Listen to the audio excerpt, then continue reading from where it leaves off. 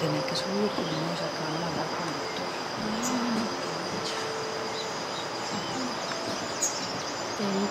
de